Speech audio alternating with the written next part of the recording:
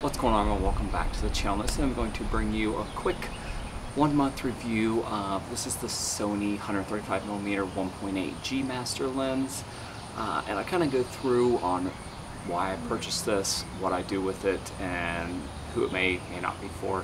Uh, so this retails for about $2,100 and I am not a professional photographer. This is probably way overkill for me, but I actually got a used copy for about $1,400, so you can get it in the used market for a decent price point. Uh, so what's so special about this lens over some of the other G Master lens? This is probably mainly focused as a portrait lens and I think a sports lens mainly because it has Sony's new XD linear motors, two of them I believe. I think the G Master 1.2 GM has four, but it has our new XD motors uh, and I'll kind of go through with the performance on why this may be a good sports camera also uh, comparing it to some of the other things out there. I'm shooting this outside so I'm sure the white balance and exposure is all jacked up but uh, so the build quality on this is really good. I've only owned it for about a month but the person previously had it for over a year uh, so it's a little over a year old. Uh, it's mainly metal and plastic. It is a fairly heavy lens. So I will mention that is that it's a little bit on the chunkier, heavier side, uh, especially compared to my previous uh, portrait family sports lens was the Canon EF 135 2.0, which was a really, really good lens, very old, but it was pretty light uh, for an f2 135 millimeter lens. Sorry for the dog barking in the background. We have tons of crazy neighbors that have dogs that just bark 24 7. Uh, uh, but it has two of the, the XD motors in it, uh, which I don't remember when they came out with that, but I know the GM35 I'm using just has the regular linear uh, two motors in it.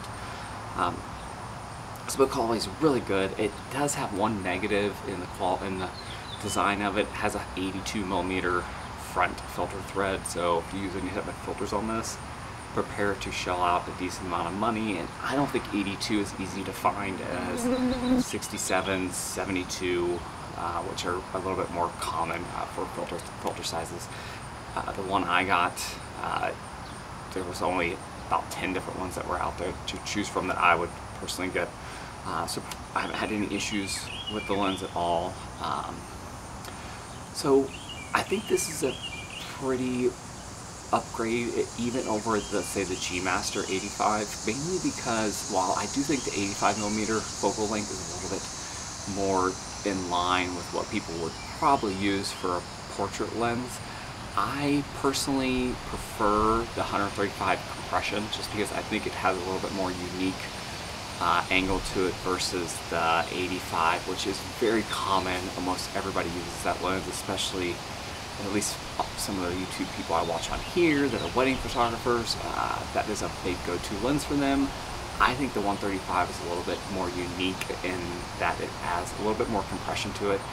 And if you use, uh, if you shoot it in crop mode on a full frame Sony, especially one of the higher megapixel counts, you're going to get close to 200 millimeters, so you do have a little bit of wiggle room there to where you not really have a 70 to 200, but you'd have a 135 to 200 if you're okay with dropping down the resolution and putting a crop on it. When it comes to performance of this, this is where I think this thing really shines in that the, the linear XD new focusing motors they have in here are the fastest focusing lens I've ever used. It's still moving a lot of glass at 1.8, it'd be 135, uh, but it is absolutely remarkable and I think you could use this for pro grade for sports photography or event photography if you were doing something like that. So I don't think it's just mainly a portrait lens.